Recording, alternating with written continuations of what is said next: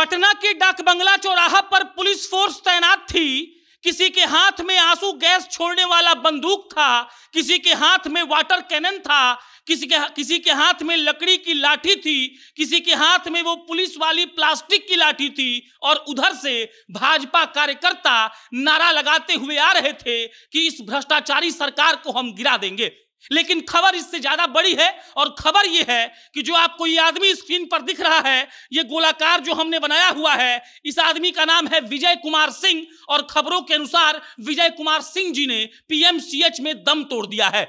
जहानाबाद में भाजपा के महामंत्री विजय कुमार सिंह आज आए थे विधानसभा मार्च करने के लिए। बड़े बड़े नेताओं ने बुलाया था सारे कार्यकर्ताओं को और आज पटना पुलिस ने इतने बर्बरता से लाठी चलाई कि भाजपा का एक महामंत्री अपनी जान से हाथ धो बैठा। सम्राट चौधरी, विजय सिन्हा, सुशील मोदी, रेणु देवी, इसके अलावा तमाम वो बड़े नेता पुलिस के द्वारा गिरफ़्तार कर लिए गए हैं। वो तो छूट जाएँगे, लेकिन एक महामंत्री को एक तरीके से इतना मारा गया कि उस आदमी ने दम तोड़ दिया।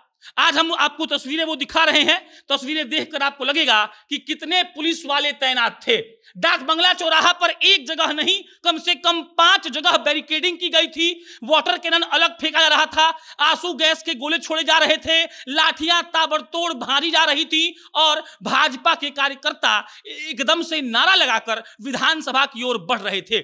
सम्राट चौधरी को पुलिस की एक टुकड़ी रोकती है। फिर विजय सिन्हा को रोका जाता है और उसके बाद लाठी चार्ज होता है। सम्राट चौधरी तक पर लाठी दान दी गई थी। लेकिन उससे भी बड़ी खबर है कि जहानाबाद के महामंत्री विजय कुमार सिंह पीएमसीएच में दम तोड़ चुके हैं। सुशील मोदी और सम्राट चौधरी इस खबर की पुष्टि कर चुके हैं और इस बात का भी ऐलान हो गया है कि कल भाजपा राजभवन का मार्च करने वाली है। आप समझिए, लाठी में कितना दम रहा होगा, लाठियाँ कैसे भाजी गई होंगी कि भाजपा का एक महामंत्री हाथ अपना उसकी जान चली गई और वो विधानसभा मार्च के लिए पटना आया था।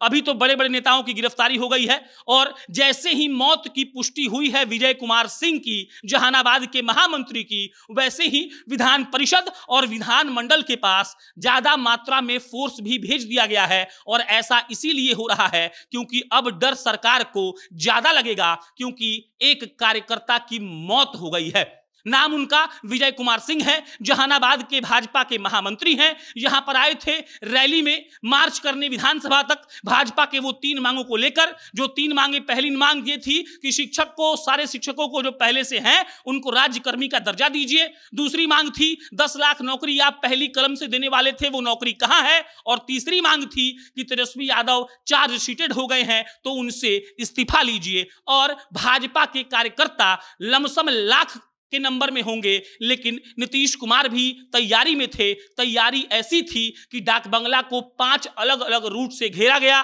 पुलिस की अलग अलग टुकड़ियाँ तैनात थी। लाठी भाजने का आदेश था।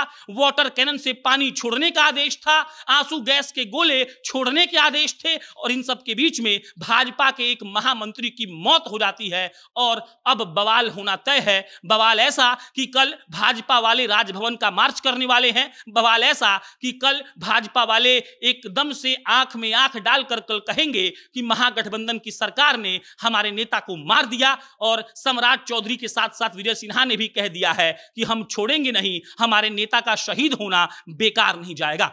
बाकी इस पर कोई अपडेट आएगा, हम आपको इतला करेंगे। मेरा नाम प्रशांत है, आप जनता जंक्शन देख रहे थे। बहुत बहुत धन्यवाद।